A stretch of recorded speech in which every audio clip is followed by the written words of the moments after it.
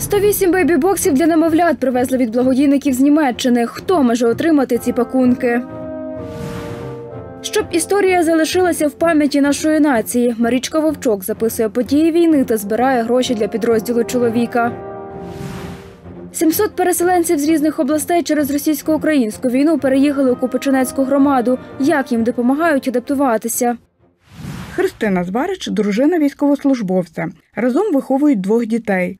Синові Остапу 7 років. Майже місяць тому у подружжя народилася донечка Мія. Ми дуже хотіли донечку. Тато наш зразу після оголошення е, воєнного стану в країні пішов військкомат, і його 13 березня мобілізували. Я дуже рідко приїжджаю. Ось останній раз то він був, е, коли вона народилася, його відпустили. Так, маленька Міюся наша. Назвали її Мія Марія. Христина Зварич каже, коли дізналася про благодійний проєкт, вирішила скористатися цією допомогою. Так ще як я не працюю зараз, ну, наш бюджет зменшився. Ми тільки на чоловікову зарплату, ну і на соцвиплати, але ще на даний момент часу їх немає, то, то цей бейбі-бокс буде нам дуже потрібен. Я зайшла на сайт міста Тернополя і побачила, що справді є таке. Побачила, що там є номер телефону, зателефонувала туди. Мене проконсультували, сказали, що справді це дають, сказали, які документи потрібні. У міський територіальний центр соціального обслуговування населення отримати пакунок малюка прийшла харків'янка Зінаїда Климкіна. 14 березня вона народила сина Олександра. Зараз в такому становищі переселенці рахуємось. Взяли два чемодани і приїхали. Тому не збирались, ніхто того не чекав. Тому люба допомога нам дуже важлива. Поки соціальна працівниця Богдана Зубкова заповнює документи, жінка ознайомлюється з переліком речей, які входять до пакунка малюка. Каже, усього в пакунку 60 найменувань. Молочна суміш, чай, мазь, серветки, памперси, пеленки, марлеві пеленки, набір шапочки, бодіки, комбінезончик, шкарпетки, тепла піжама, набір повзунків, штанці, Отримали 108 пакунків для немовлят, розповідає директорка Тернопільського міського терцентру Ірина Семенишин. Це благодійна допомога від фундації Синьо-жовтий хрест німецького міста Кельн. Її роздадуть жінкам, які народили дітей з 1 лютого цього року та зареєстровані на території Тернопільської області. зможуть отримати жінки, е, військовослужбовці або ж дружини військовослужбовців, внутрішньопереміщені жінки, малозабезпечені, а також багатодітні матері. Для цього, щоб е, отримати такий пакунок, необхідно, е, щоб принести свідоцтво про народження дитинки, також свої паспортні дані і довідку про те, що ем, жінка підходить під ту чи іншу категорію. Пакунки малюка роздають другий день. За цей час їх отримали шестеро жінок, каже Ірина Семанишин. Любов Гадомська, Василь Панчук, Суспільне новини, Тернопіль. Тернополянка Марічка Вовчок волонтерка. Її чоловік Олександр Вовчок зараз воює на передовій. Марічка плете та продає прикраси з бісеру, борщівські силянки, щоб допомогти його підрозділу. Стара українська автентична прикраса це копія борщівського язика 1930 року. Люди вже почали замовляти, тобто і багато за кордону, і з України.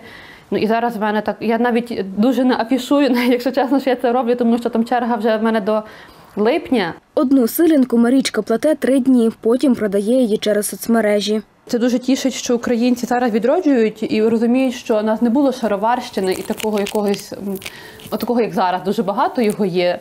Але що у нас дуже гарна була культура, і гарні були прикраси, гарні були е, сорочки, стрій. Він набагато був гарніший, ніж те, що нам нав'язали е, московська культура. Марічка пригадує, познайомилася з чоловіком п'ять років тому на спільному заході правого сектору, адже обоє там працюють.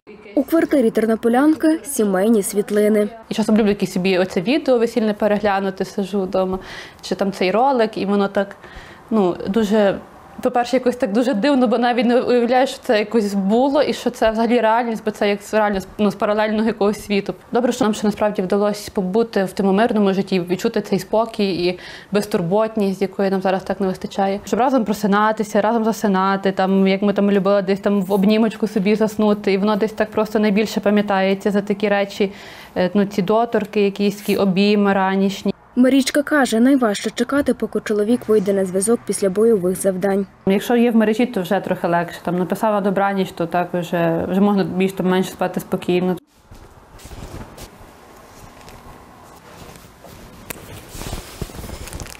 Почалась війна, Сашко збирається. Це було 6.45. В сьомій пів восьмої ми виїхали на базу на дім ветерана. Сюди вже їхали наші сім'ї переселенців. Боже береже Україну. Такий запис Марічка зробила 24 лютого минулого року у сімейному щоденнику. Каже, цей записник почав вести її тато з 1992 року, а вона продовжила писати в ньому від початку повномасштабної війни. щоб наші, наше покоління могло співпережити і відчути ближче, наскільки ці були страшні часи з тими всіма гвалтуваннями, вбивствами, щоб воно якось е, пройшло крізь е, роки після нас і залишилося в пам'яті і наші, і наших дітей, і взагалі нашої нації. Жінка насправді є опорою, і підтримкою. І я намагаюся також бути своєму чоловіку чоловіку опорою, щоб чоловіки розуміли, що їх тут чекають, що їм е, їх люблять, що їм є до кого повертатися, Марічка Вовчок організувала збір на авто для чоловіка. Треба нову машину, бо скільки грошей йде на ту, що ми не можемо до кінця зремонтувати. Він каже: ну було би непогано. Я така, о, кажу, то давай, ну може зробимо якийсь збір, попробуємо. Ворог він не так воює за території, як за знищення української нації. І ми маємо це розуміти і боротися для того, щоб, щоб наша нація жила, щоб продовжувати справу наших предків, які боролися вже не одне століття. Анастасія Кисіль, Оксана Галіяш, Суспільне новини, Тернопіль. Переселенка з Харкова Ольга Кузьменко розповідає, разом із сином уже рік проживають у Копичинцях. Вона волонтерить у місцевому гуманітарному штабі та відвідує творчі заняття у будинку дитячої та юнацької творчості. З квітня місяця ходжу до гуманітарного штабу.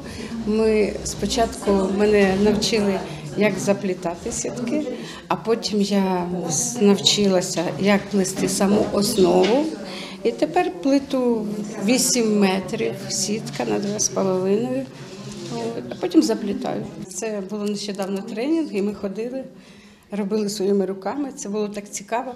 Ольга Кузьменко каже, один із проєктів, який допоміг їй адаптуватися на новому місці та брати участь у житті громади, адвокаційна підтримка внутрішньопереміщених жінок у західних областях України. Під час проєкту громадські організації та місцева влада надають правову допомогу та організовують зустрічі і майстер-класи для переселенок, розповідає керівниця проєкту Валентина Лимар. Яка була мета е, нашого проекту? Це все-таки допомогти людям е, і навчитися адвокатувати свої інтереси, які потім можуть внести якісь зміни в життя тої громади, де проживають. За словами Валентини Лимар, цей проєкт реалізовують у п'яти громадах Тернопільщини за підтримки жіночого фонду миру та гуманітарної допомоги ООН. Ще одна організація, яка допомагає переселенцям адаптуватися, благодійний фонд Посмішка ЮА. Його кейс-менеджерка Наталія Бабіч переїхала у Купичинці із Запоріжжя. Тепер каже, громадські ініціативи втілює тут. Останні п'ять років в Запоріжжі я займала таку нішу активізму захисту прав жінок і, і адвокації прав жінок. Коли приїхала сюди, ну трохи розгубилася. І завдяки проєктам, е, таким, які реалізуються в цій в нашій громаді, можу вже так сказати, бо вже рік тут. е, Є таке відчуття повного прийняття.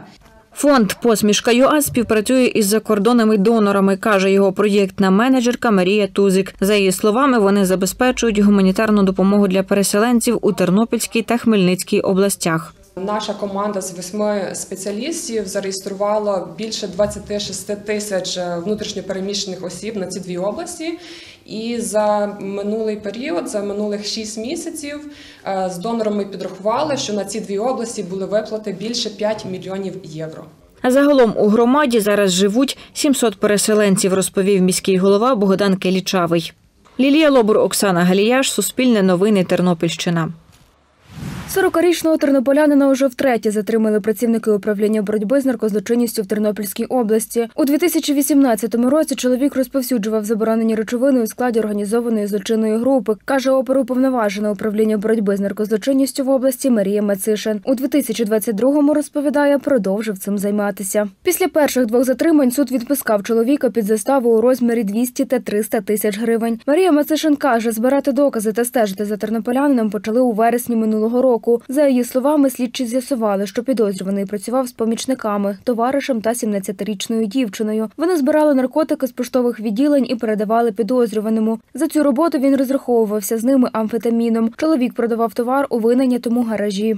21 березня 2023 року працівниками управління боротьби з наркозлочинністю було проведено реалізацію матеріалів кримінального провадження за статтею 307 Кримінального кодексу України відносно двох осіб, які займалися незаконним збутом психотропної речовини амфетамін на території міста Тернополя серед споживачів наркотиків. У чоловіка виявили та вилучили розфасованого товару на понад 25 тисяч гривень, розповідає Марія Мацишин. Одного фігуранта затримано в порядку статті 208 Кримінально-процесуального кодексу України та вручено підозру за частиною 2 статті 307 Кримінального кодексу України. Також вирішується питання про обрання міри запобіжного заходу у вигляді тримання під вартою. Підозрюваний ситуацію не коментує. Анастасія Кисіль, Суспільне новини, Тернопіль. Українські археологи зібрали свої відкриття за останні 30 років в одній книжці. Її назва Археологія України за роки незалежності. Це науково-популярне видання спілки археологів України. В книжці в хронологічній послідовності йдеться про найбільш відомі пам'ятки, розповідає голова Тернопільського осередку спілки археологів Богдан Строцень. Така бомба кацапом, що там все цікаво, тому що там розкриті різні періоди. Більше того, період кожен розкривав розкривав автор, який е, досліджував ту пам'ятку і професійно займається цим періодом. Хто краще скаже? Археологи за 30 років незалежності зробили набагато більше. Ніж е, в тій книжці, але всього книжку війти не може. Більше того, ми, е, тут подано найвидовищніші пам'ятки, і багато серед них таких, що е, пересічний громадянин може зайти і подивитися. Авторами книжки є понад 60 археологів спілки. Дехто з них зараз на війні, каже Богдан Строцень. Директор Борщівського обласного краєзнавчого музею, археолог Михайло Сухацький, один із авторів книги. Він показує статтю про печеру Вертеба на Борщівщині, яку досліджує з 1995 року. Тут е, подано інформація коротка саме про носіїв трипільської культури, які були виявлені в печері Вертеба. В цій статті описано е, саме найважливіші знахідки за роки досліджень, е, і також важливі нові дослідження, сучасні, зокрема, зокрема генної історії носіїв трипільської культури. Це дуже важливо, адже ми мало знаємо про тих людей, як вони жили, ем, можливо, який спосіб життя їх був, чим хворіли і так далі. А саме е, ем, дослідження антропологічні, генетичні дослідження дають можливість на цю проблематику поглянути по-іншому. У книжці є кольорові ілюстрації. Також деякі статті містять QR-коди, скануючи які читач зможе отримати більше інформації. Книжку можна завантажити в електронному вигляді на сайті спілки археологів. Студент Тарас, який прийшов на презентацію, каже, вже це зробив. Як тільки анонсували, я чекав випуску на сайті е, спілки археологів України, і одразу ж я її дивився е, в електронному варіанті, гортав те, що мене цікавило. Археологи кажуть, мета книжки доступною мовою без наукових термінів розказати про результат своєї 30-річної роботи. Якось склалося так традиційно, що академічна наука робить багато до дослідницькому плані, науковому, але пересічні громадяни вони не завжди мали можливість е, так в популярній формі про це довідатися. Видання передадуть у бібліотеки та військові госпіталі, розповідає Богдан Строцень. Оксана Максимлюк, Андрій Прокопів, Суспільне новини, Тернопіль.